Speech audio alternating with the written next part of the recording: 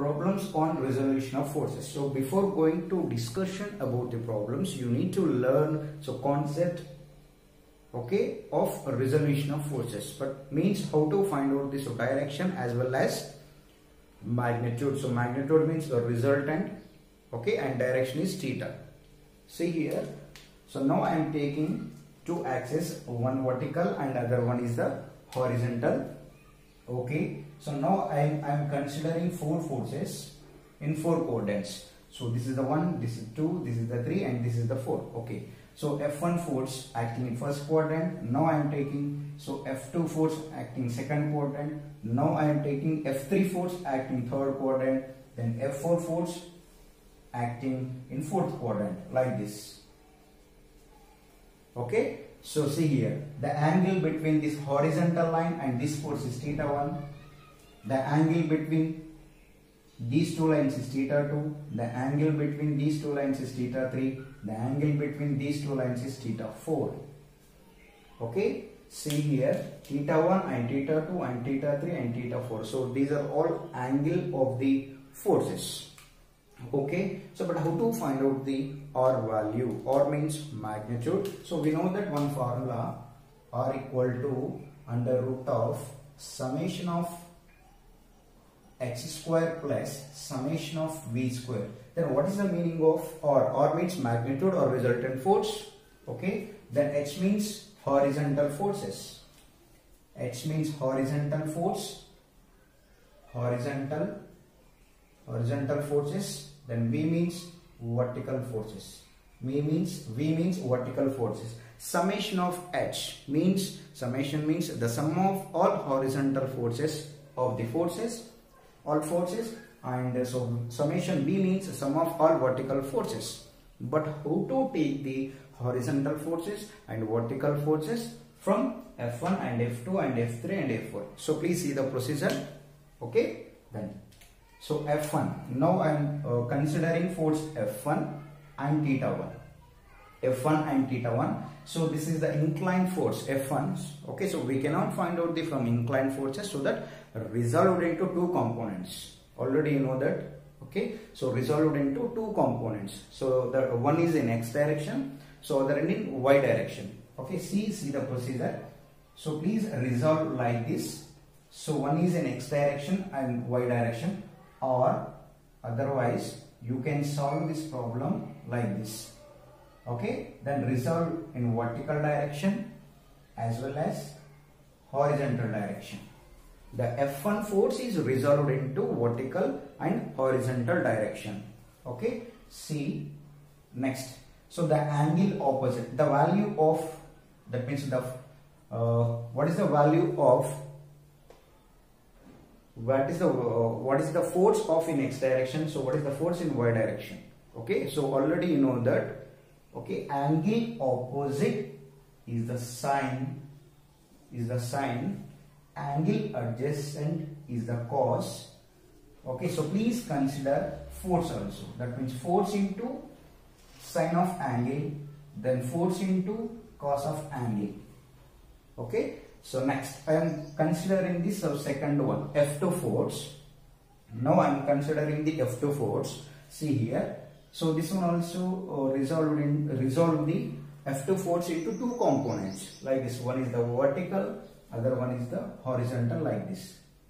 Like this. So theta opposite is the sine. Now i am taking force into sine of angle okay? Then force into f2 into cos theta 2 okay? So next third one so please consider third force so this force also resolved into two components like this see here so this one is the one is the vertical force, other one is the horizontal force. So theta opposite is the sine. Already you know that F3 sine theta 3. Then this one is adjacent. So that now I am considering the cos theta 3. Okay. So please consider fourth four uh, four force. Okay. So this force also inclined so that this resolve into two components in x direction like this in y direction like this. Okay so now i am taking now i am taking f4 so theta adjacent. Line is the f4 cos theta 4 theta opposite is the sine that means f4 sine theta 4 okay so this so please follow this procedure okay? Next. See here. So one more condition is very important. One more condition is very important. Okay? See this is the right side direction. So direction also very important. So in this case directions. Right left and up and down. So all these four conditions are very important. Okay? The force is acting in right side direction. So please take positive. In left side direction please take negative. The force is acting upward direction positive. Downward direction is negative. Okay so these four conditions are very important. Right side positive. Left side negative. And upward is positive downward is negative. Okay? Next. See. Then so before going to solve the problem you need to identify the uh, directions also. Okay? So now i am taking this is the uh, force is f1 the force f1 see here the force f1 is so this is the center axis. Okay? So from this axis the force is acting right side direction and upward. See here. This is f1 force is the right side direction and upward. The f1 force is acting right side and upward direction. Okay? So that's why i'm taking right side direction and upward direction. Okay? So next. So please consider f2 force. So this force is acting left side direction left and upward. Left upward. Okay? So that so please consider f2 force is left side direction and upward direction. Next. So please consider f3 force. This force also acting left side and downward direction.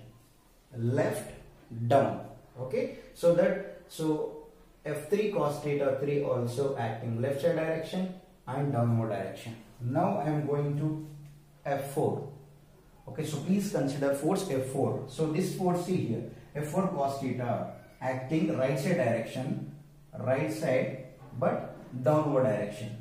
Right side and downward direction. So that so please take f4 cos theta in x direction right side in y direction down side okay? See so already you know that a concept right side forces are positive left side forces are negative and upward positive. Next downward is negative. Okay? See see the procedure how to calculate the so sigma h and sigma v sigma h means the sum of all horizontal forces. Now i am taking sigma h. Horizontal forces see here. Horizontal forces. So this one is the horizontal force f1 f4 f2 and f3 so all these forces are acting in horizontal direction. Okay? See in case of the right side direction is positive left side direction is negative. Now i am going to start with f1 cos theta 1 f2 f3 f4 okay? So f1 cos theta 1 acting right side direction. F1 cos theta 1 so this is the positive. This is the positive next f2 so f2 acting is the left side direction. So that now i am taking minus f2 cos theta 2 next. So please consider f3 cos theta 3 so this force also acting left side direction. So that's why i am taking minus f3 cos theta 3 next. So f4 cos theta 4 acting right side direction. See here. Right side direction. That's why i'm taking plus f4 f4 cos theta 4 okay so this is the concept for sigma h. Next sigma v. Next now i am taking so vertical forces. Okay so please start with f1 and f2 f3 f4 so please follow the sequences. Okay next now i am taking this force. F1 sine theta 1 is the upward side direction so that so please consider this is the positive f1 sine theta 1 next. So please consider next vertical force f2 sine theta 2 so this is in upward direction. So that take place plus f2 sine theta 2 next third force. So this force acting downward direction so that so please consider minus minus f3 sine theta 3 next see here this force so this force f4 sine theta 4 acting downward direction. So that so please consider negative minus f4 sine theta 4 so this is the procedure. Okay next. Then next one is theta direction. But how to find out the direction of the resultant force okay? See here now i am taking tan theta. So tan theta equal to sigma v by sigma h. So please substitute sigma v and sigma h value. Then theta equal to tan inverse of sigma v by sigma h. So this is the complete procedure for calculation of calculating for calculating for direction that means magnitude as well as sorry magnitude and direction. Okay? So this problem is very very very important